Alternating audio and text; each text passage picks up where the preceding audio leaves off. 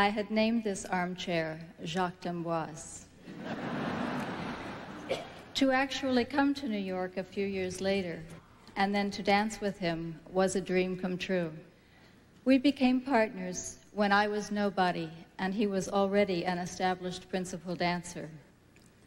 Balanchine was always trying, with great difficulty, to teach men how to dance with a woman, not in spite of her, but for their mutual glory.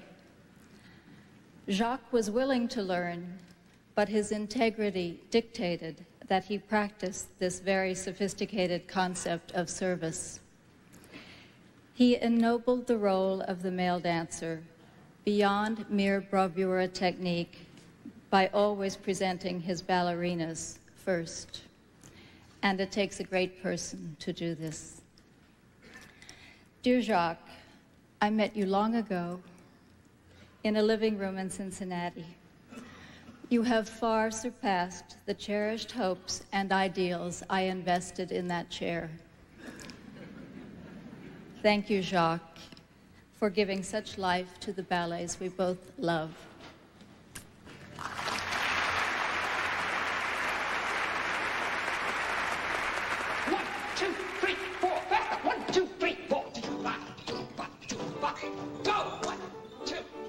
I'd love to get the whole world dancing, he says, Good. Okay. to give every child the same chance that was given to me.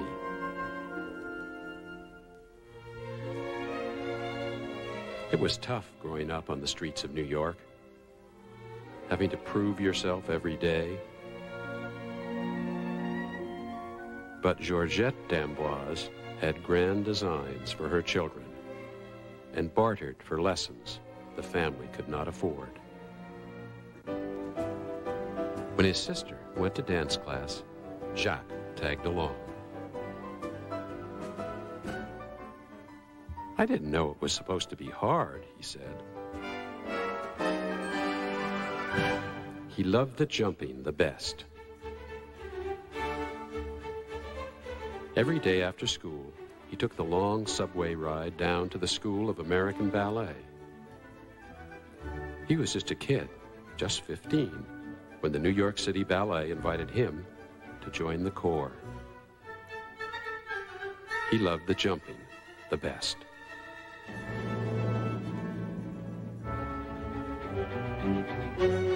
At 19, the company promoted him to soloist and stardom. He burst onto the stage with his rookie grin. On tour with the company, he danced in places only his mother had dreamed of.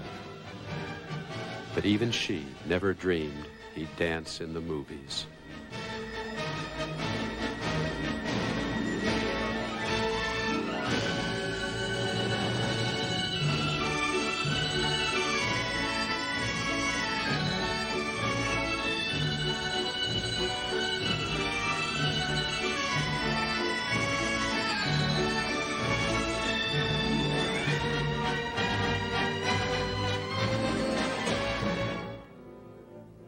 Offered a seven year contract with MGM, he chose instead to return to the ballet and the exacting standards of the master, George Balanchine.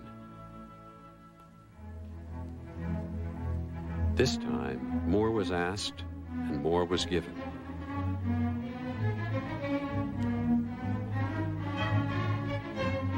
He was entrusted with the role of Apollo and the story of a wild youth who, touched by art, matures into a powerful god.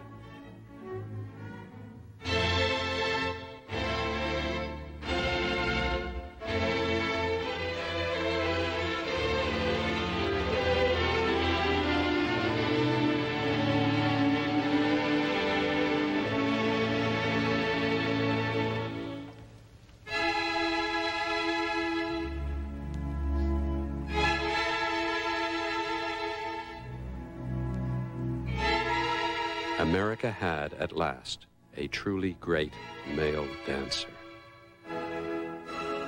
As elegant a dancer as we had ever seen.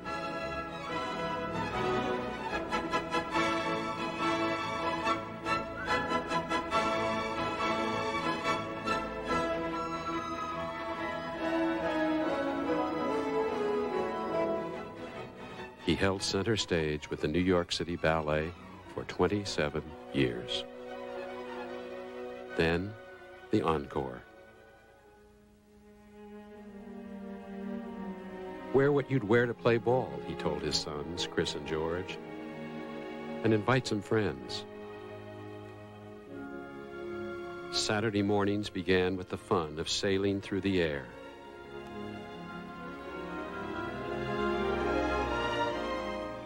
He won them over with tales of adventure, the princes and pirates they could become. If these kids, why not all kids?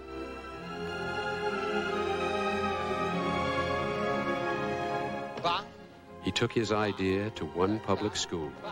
Good. That's the best you've done. then to another, and another, and another. Terrific! He insists they give it their best. Ah, by the skin of your teeth. Go put your name on it. Don't give up on yourself, he shouts. There isn't anything you can't do. Long after the steps are forgotten, each child will remember mornings with Jacques d'Amboise.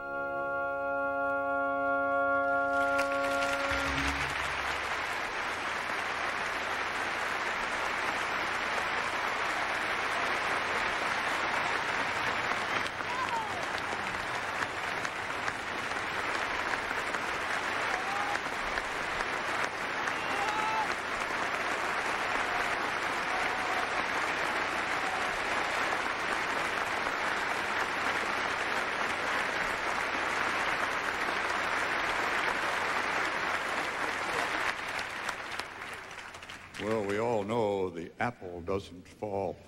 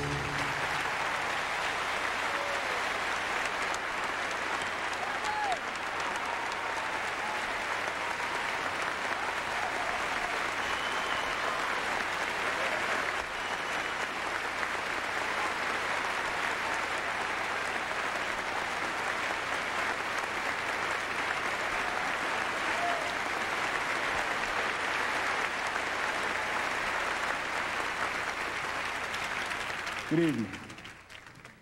My name is George James. I'm a financial consultant with Merrill Lynch. This is Erica Chung, who is studying to become a doctor at Dartmouth College. Both of us look back at the day we started in Jacques D'Amboise' children's classes as turning points in our lives.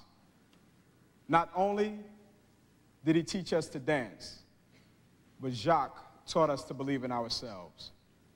Children from Jacques' National Dance Institute have come here to pay tribute to him. They will dance to The Other Side of My World, music and lyrics by Judy Collins, choreography by Peter Gennaro, and to be sung by Judy Kuhn.